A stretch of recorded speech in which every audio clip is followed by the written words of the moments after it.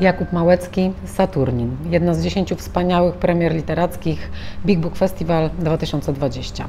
Nowa powieść Jakuba Małeckiego to portal, który zabiera nas z bieżącej, niepozornej rzeczywistości w zaświaty, do świata onirycznego, metafizycznego, w którym drzemią niezwykłe tajemnice i korzenie tego, kim jesteśmy.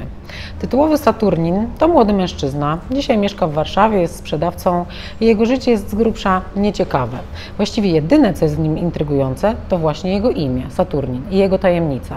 Pewnego dnia dziadek dorosłego już Saturnina znika. Wsiada do samochodu, a ma lat ponad 90 i jedzie nad rzekę. Nad rzekę, o której twierdzi, że już tam kiedyś umarł.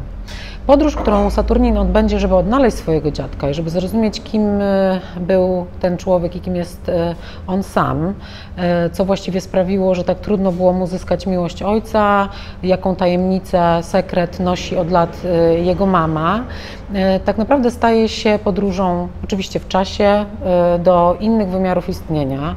Małecki pisze pięknie i bardzo intrygująco, w bardzo nietypowy sposób. Wielokrotnie zmienia narrację. Mówią do nas ludzie rzeczywiści i postaci z Dla mnie chyba najwspanialsze w tej książce jest to, że dała mi dostęp do psychiki młodych mężczyzn i tych współczesnych, i tych, którzy walczyli w II wojnie światowej i o których właściwie nigdy się tak naprawdę głęboko nie martwiłam, nie troszczyłam się o to, co przeżywali w pierwszych dniach wojny. To jest też książka o męskiej wrażliwości e, i znów niezwykły portal do tego świata, który dla mnie do tej pory był e, zaklęty. Książka niezwykle wzruszająca, ale też pięknie, dobrze i niesłychanie sprawnie napisana, czyta się szybko, bardzo wciąga i zachwyca.